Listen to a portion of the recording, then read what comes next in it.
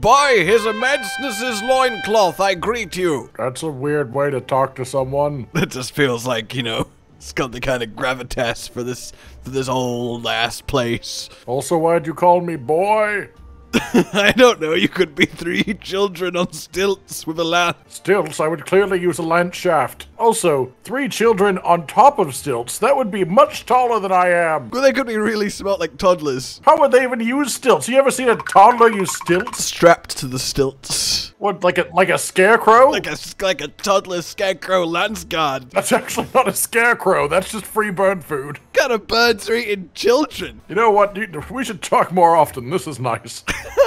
I mean, I did want to ask, what's up with the floor? This is a bit much polished, don't we think? I get the impression it's like a safety hazard. Maybe someone might fall over and break multiple bones. What a great place. I think it's wonderful. And then, for some reason, they break even more bones despite having already finished falling over. Oh, there go the rest of them. And then what if their head falls off? Well, let's just call it a delayed response. It, it- you know, you, you just you shift too much, it happens. Look, all I'm saying is you can't be using polish to the point where someone falls down, breaks all their bones twice, and their head falls off. Well, sometimes it rains. We're in, Dot, there's a roof! There's no walls. It's not horizontal rain! Do you think that rain doesn't go sideways? Look, this is a very non-windy zone. I don't believe you. We're high up. That's where the wind is. What do you know about fucking weather? You're free children on stilts! I know everything about weather. Our knowledge about weather decreases as we age. Anyway, I'm gonna go hunt now.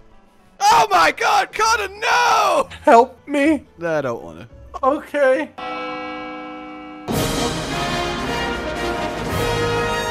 Well, well, well. If it isn't cotton. I want to talk to you. You let me just lay on the floor in pieces. Well, you know, you've always come back together somehow. Yeah, no help from you. By the way, that food had a one-of-a-kind texture. That's nice. So did the floor. oh, I know where the monster is. Is it for your psychic abilities? Maybe. Have you already leapt off the cliff? What cliff? Uh, I We're in. G rank. But the thing is, we get we we we come here now from the Elder Hall on an airship, right? An actual Yeah. real airship. And Yeah, I just fall off early. Yeah, did, you just like hovering over the map, like you know what, this'll do. Bye. Oh, it's good enough. No, I just like having a nice walk on the way. It's not all about speed, you know. It's because of the knees. We don't realize it, but the knees are the greatest conspiracy in Monster Hunter. They are? How are knees a conspiracy? Because how do the knees absorb infinite impact? Infinite knee? Like, can we put a hunter on their back, legs in the air, drop a, a house on them, and they'll like cushion the impact because their knees are unbreakable? Well, I mean, their knees would be fine, but they would also just get impacted into the floor with the rest of their body. They might still be okay because they've absorbed the shock. The shock isn't the only problem there, I'd say. You have a physical shock absorber and an emotional shock absorber. Why are you glowing orange? Why Are you glowing red? It's like glow red. Well, I glow orange. Well, you should have said that. Feels like we have to have a beam struggle now. Ah! I said, feels like we have to have a beam struggle now. Anyway, what are you gonna, what are you gonna call your beam? You gotta name your beam. Oh! Ow! Why did the most of like ever come in like, oh good, I can't wait to watch this. Are you not aware you're being stabbed in the head by an inst? Oh, there we go. Okay. Okay, okay, no, it just, it just took me a moment. It took you a moment to ca- If I don't acknowledge the impalement, then it's not real. Paintball! You can't Oh, that one missed. paintball me. Yes, I can! All right, on go. Go! Oh, you fell over in the middle of your beam. That's so awkward. Yeah, there's a bug attacking me and ignoring you for some reason. Ah! I have triumphed, for my beam is more powerful than yours, and thus I- you hit the ground. Yeah, that was definitely the beam. That was totally the beam. A sizable amount of fighting. A song that I don't know? Yes, I've been writing. I didn't realize the song included my question. it's a very proactive sing along. And then what happens in the song? Then I'm hoping we find the Whoa. monster. That's green! Behold! Slime covered Tetsucabra! Yeah, I was gonna say, it doesn't look like slime, he just looks green. I'm just dealing with algae problems in my pond at the moment, so it's all I can think about when I see green things. How? Please, can I, I? I don't know about your problem. Oh my god, his face is so hot! I know, I'm in the, I'm in another zone now. Was it too much for you to bear? Yeah, I had to take a break. Oh yeah, I've missed this froggy friend. Oh, you're missing a lot of cool things happening. Well, yeah, I mean, I'd like to be there, but the first thing he did was knock me into another zone. Well, so- you weren't ready for it, you know. That's correct. I wasn't prepared for something I've never seen before. Oh, come look at this giant flaming ball! That's a giant flaming. I, it's not there for me. What? None of the balls that are on your screen are here for me because they happened while I wasn't in the zone. Behold! Berserk Tetsucabra! I mean, it doesn't remind me that much of Berserk, honestly. So this is a green explosive I like that. I like his color scheme a lot. He looks very hazardous, like a like a like a poison Yeah. dart frog type of. It's somehow more froggy than the base. Because Well, yeah. obviously the greens. I mean, I like the, the mixed color because it's more like he, he's colorful to denote the extra danger that he presents. And his face gets real warm. Too bad that he's in a warm place though, because that probably doesn't help him. Would you? Okay, just, just mount him. Just mount him straight away. Yeah, I feel like mounting a frog should never really pay off. For them, Well, yeah, I mean you mostly just squish them, which is good for me. unless it's the devil frog. Is the devil frog immune to squishing? I mean, it's the devil frog, man. It's got big devil powers. What do you think? Oh, big devil powers. I thought it just had the small ones. No, the the largest uh, frog slash toad to ever lift, uh, lift, to ever lift. Do you even lift frog? 12, 13, 14. Look at me. 12, 15, 14? What, what is this? Frogs don't count, but they do pump. You've never seen such buff frog's legs. I've not, and I've had French cuisine. They could feed a village man. Frogs would be really good at gym equipment scaled up. Oh, yeah, yeah, they- they'd definitely be good at that, but most people are. Like, those are generally considered the easier of the machines. Generally, for most people, especially before you, like, train your body, because most people use their legs for a lot of things just Man, in we need a show just called Gr- Grim Grim Bogs. Grim Bogs? We need a Grim show Bog. called Grim Bogs. A This is the darkest bog on the planet. I'd like a documentary spotlight on the world's most worst bogs, please. This I bog want- has 40 deaths per month. I wanted Jim Frogs and got Grim Bogs. You know you hate when that Grim happens. Boggs. Grim just- Boggs is a great, like, D&D character name. It is. Me Grim Bogs. It's very barbarian-y. Boggs. Grim Boggs. Grimbog. Oh, anyway, what I was trying to say is the largest froggy toad to ever live is called Which one is Beezle? Beezle Buffalo, Beezle Bobbalo, Beezle Beezle Buffalo, Buffalo. Beezle Beezle Beelzebub, named after Beelzebub. So you know, Okay. devilly. And? Oh, that's just where the devil frog, Oh, not It squished. sounded like that didn't sound like the end of your sentence. I was I was waiting for more information. sorry, sorry, sorry. My my extinct prehistoric giant frog facts. well, you didn't mention it was a, an extinct prehistoric frog. Would have done well to include that part. Beezle Beezle Bufo. There we go. Beezle Bufo. Oh, so he is a gym frog. yeah, Beezle Bufo, the buff devil toad. Now Oh. that is a boss fight, if I have ever heard one. like you one. walk into a room, the music starts, the health bar comes up. Beezle Bufo, the buff devil frog. So you know, you know, it's the largest. How large do you think it was? uh, two two feet. I mean, it had four feet. Oh, It's a okay. frog. Um, was it as large as my two feet? I don't know how large are your two feet. My feet are pretty fucking big, man. I'll, I'll be real with you. it's a problem. You know, it's a problem when you have to like custom order shoes instead of just getting ones from Well, a shoe how store. about if I told you that its snout vents were 42 centimeters long? Okay, so probably more than two feet. Did you mount it again? I did, yeah. It just sort of happened. Ten feet. Ten feet. Can you imagine a 10 footed frog? I don't think we'd call that a frog at that point. That's a different creature.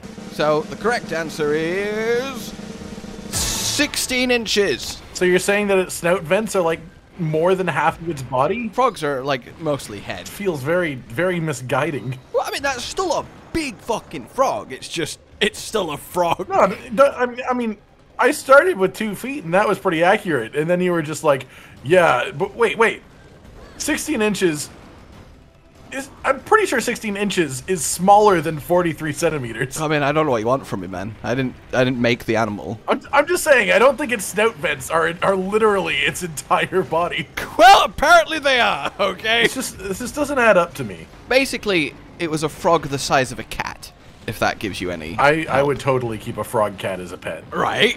that would be so good. Hop into your lap, give it a cuddle. Yeah, and then it jumps away. Then again, you don't want to really cuddle a frog because it'll absorb your, your skin bits for its skin, and that's harmful to it. Well, then you wear gloves. Yeah, I mean, that is what you do to handle a frog, but they don't really like being, oh, oh no, Cotton dead! Okay. I was just under him and I couldn't see my camera through his body, and apparently he was attacking me. God, I love this Tetsu. He's so much better very than good. regular Tetsu. It's very good. Honestly, I do kind of prefer Berserk Tetsu to Drill Tusk. Oh yeah, no, I, I, I do too. Like Drill Tusk is all right, but it's definitely like parody Tetsucabra, I guess. well, it's just like a lot of the deviants are. We're going to take this and we're gonna make it extreme in the most literal way possible. And then some of them just sort of overdo it on the like believability scale. Whereas like this is like, yeah, there's there's frogs that are like this. There there are frogs that could do stuff like this. Maybe not the rock part, but you know. Sorry, what what frogs? What frogs are over here exploding rocks? Well, I mean, as I was saying, maybe not the rocks, but I, I'm pretty sure there are frogs that have like the ability to cause small explosions. what? what? what? I mean, bugs can do it. Why can't frogs? Bugs can't. The closest bug to causing an explosion is, is the bombardier beetle, but all it does is fire caustic liquid, which is still impressive, but it's not an explosion. It's an explosion of the skin. It's not. It's not though. A slow sp- explosion. A self-rupturing toad would be a very ineffective defense mechanism. in hindsight, there's no such thing as as a slow explosion because the whole point of an explosion is that it's atoms being. I mean, it depends what you count as an explosion. If a whale beaches, it will eventually release so much gas as it rots that its stomach bursts open, which is explosion-like, but it does happen slowly. Well, no, because the stomach burst itself is a fast thing. It just doesn't happen for a while until it's ready. And then it rains whale bits. Oh, isn't that fun? That's a word for it. I mean, you're the one just like going into the concept of raining whale bits. you don't want to be under some raining whale bits. I'm good. okay. I'm Just gonna climb this waterfall. Yeah, why climb the shooty shooty bit? Why climb the shooty bit? Man, it's really hard to be around you sometimes. You don't you don't understand what water is. Haha! You, what what are you doing? That's my job. well, now it's my job. Although it shouldn't be my job because I do not have the stamina for it to be my job. Bye! Exactly. And also I have earplugs when I do that. I literally am down to two bars of stamina, and I don't know why this has happened, but I'm struggling. Oh, you, you probably have stamina down again. I don't have meat, okay? bring just bring meat. We're in G rank. Get meat. Cook meat. All right, barbecue advert. You can cook it in the sun for all. Cook it in the lava. That works. I wonder what lava cooked meat is actually like. Burnt as hell. Well, obviously don't dunk honestly. it in, you bloody nincompoop, but n- nearby. Well, I mean, if it touches it, it's disintegrated. It's like a little, so- a little, a little lava-adjacent cooking session. How would how would you even get there without dying yourself? You can stand near lava. I wouldn't stand near lava personally. I mean, don't fall in, but it's safe to get within like a foot of lava. I mean, there's so many videos of people dropping shit in lava for for fun. I just don't think it's a good idea. Well, obviously, it might not be a good idea, but it's it's possible. You don't just explode in flames if you look at a river of lava. Well, yeah, I mean, you can look at it from far away, so obviously that's that would be a weird property of lava. Here, look at this picture. He does a lot of damage. I guess it's less that he does a lot of damage, and more that I'm still in high rank hmm. armor. Hi, me too. To be fair, Yeah, but you're also just sort of watching a lot. I'm timing my attacks. Earlier, you were talking about a frog and researching it while standing in a corner for about five minutes. And yet I still didn't die. So really, That's because you weren't fighting him, so he wasn't that. fighting you. No! When something goes wrong, it is not becoming of oneself to blame others rather than introspectively ask, not what could I you." have done better? I'm not blaming you for me dying. I'm saying that's why you're not dying as much as I am. That's not the same thing. No, I'm not dying because I'm avoiding his attacks. Yes, and I'm saying why you're avoiding his attacks because you're not fighting him as much as I am. Being AFK is a recipe for not avoiding attacks, not avoiding them. You're not AFK, you're just standing far away. Just looking at this frog makes me feel so queasy. Oh, Just have a bite. kind of want to put my hand on him and tame him, you know, in his little buck teeth. Just, just take it. Just take a. Just take a bite of a raw frog. Of what does a frog dream? Die, you buck-toothed fiend! Oh wow, I really sheared his tuskies. I did think that was the quest complete, but it was not the quest complete. That's okay. He's probably not long for this world. Probably not. No. In fact, he might even be shot for this world. Well, I mean, I guess in the grand scheme of like monsters, he is sort of short. Yeah. oh god. Okay. I can't sprint! I can't! I can't sprint! God, I can't! Sprinting is dangerous, anyways. I can't sprint! Kill the frog! Yes, sir. Ah! die! I think one of my attacks hit the rock as he was moving and it exploded and hit me. Oh, I really thought he was gonna rock a third time. Nah, he's out of rocks did it. when he's dead. Ooh, massive bone. We offer you this life support system, oh Jackie of the depths, Well, I'm taking some of it. after we take a small piece. Now let's do one of the worst quests in the universe. That's what I love to hear before a quest. Hey, this time I followed you off the airship because I've had enough of your shenanigans. Sounds more like you've had enough of the airship to me. I still think in Monster Hunter 6, Kinsect users should be able to have two Kinsects and then Yeah, fly I with agree. them. I mean, you should be able to do it with just one. I mean, you don't need two. I mean, they're not that strong. just surf on them. I watched Legends of the Guild. surf on them. You saw the same movie I did. I mean, she stood on it for a little bit, but also I feel really bad. Like, if you stood on Glopavok, he would probably be a little bit hurt. You underestimate the strength of Glorp. hey, wouldn't it be really cool to fight a a good old Cephadrome together? Yeah, I mean, it wouldn't be the first time. But hey, what's better than one Cephadrome? Oh, what? Why? Is it two Cephadromes? Why would you? Why would anyone do this? Why would you choose to do They this? They made this a key quest, Conan. They made it a key quest. I don't believe you. I think you're trying to hurt me. Why would I hurt you by hurting myself? Because you do that all the time? I don't work on the rule that my pain is worth it if it's also your pain. I don't know that I believe that. Well, it depends what kind of pain. Really, I'm trying to slice up a cephaldrome. I did it. I said the sentence. I can only think of one reason that he wouldn't want you to do that. It's probably because it's a cephadrome. But surely they want to only have one, so they're not. What is that hitbox? So they're not competing for territory. What makes you think they were competing for territory? They might be friends. Everyone knows that no Cephadrome has any friends. Even Cephadrome hates Cephadrome. That's probably that's probably why they're friends is because they don't have any other friends. Everyone hates us. We're a rubbish monster. You want to hang out? Yeah, okay. I just want to get orange buff. What part of you is orange He buff? He doesn't believe in defense. Come on now. Oh god, why did he just walk towards me and hip check? Fun, probably. And what is the check part? Is he checking his hip or our hip, or does he want us to inspect? Like, what what part of the hip is the check? What fucking Cephalos? Why did the Cephalos do so much damage? I think it was the second Cephadrome that's returned. Oh, that's that's good to know about. It's okay, man. We've all died to Cephadrome. I mean, it literally just attacked me in a way that didn't put me fully on the ground. The second one attacked me while I was on the floor and able to do anything, so it's, it's just nice. Maybe we should name them. I nominate the paintball one to be Carlos. The other one is clearly um, Francesco. Both better names than the actual monsters themselves. To be fair, the name is fine at least. Is it Cepha? It's okay. It doesn't really make sense either. It would be better if they were like squids. Yeah, actually, that's a good point. Cephalopod. Why are they not squid? If they were squids, I'd be well happy. Much better monsters, yeah. There isn't really a situation that can't be improved by the introduction of a squid. Uh, ooh, ooh, a writing contest. No, because then it could inspire the writing. And then also cover all the sheets of paper with ink. did did we happen to have both Yeah, I think they went off together. They're friends. Aw.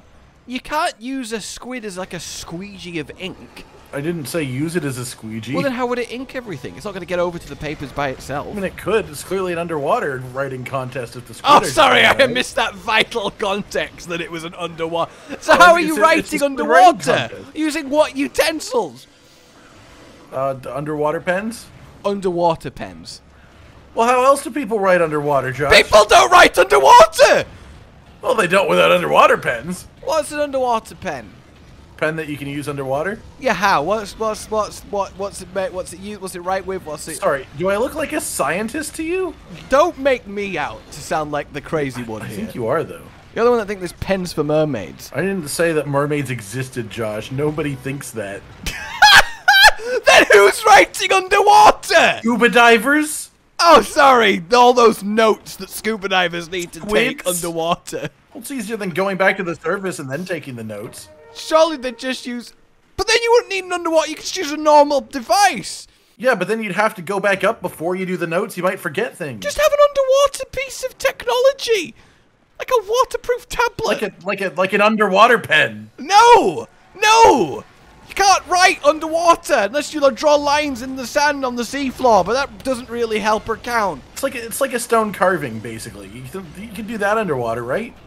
Um, I mean, with great effort, it's much harder to chip and chisel stone. I don't think it's harder to do underwater. I think it's about equal as long as you've got like a suit that makes you not be drowning. Non-drowning suit is a much better, better name. Also gets the point across. I mean, what does scuba even mean, really? That's a great question. Sounds like school bus. I don't want a school bus suit. Oh, I know the answer to that. Why are you? Go- yeah, because you just Googled it. No, no, but I, I knew it. then why did you Google it? oh, don't fucking give me that. You are the champion of I completely forgot, but now that you said it, I remembered that I did know that.